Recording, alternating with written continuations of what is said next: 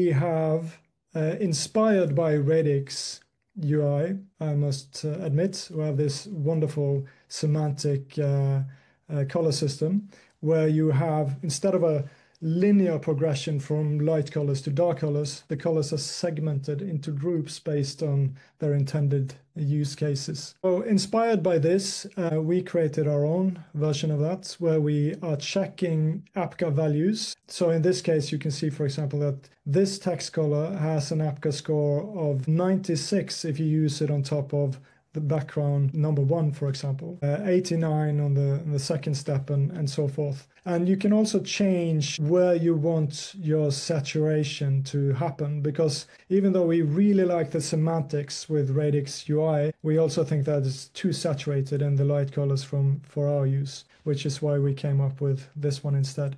I'm currently running it locally. It will be published on uh, on its own URL in short future future so you'll be able to, use it yourself if you want to. And you can also download the color tokens in the world wide web consortium's uh, format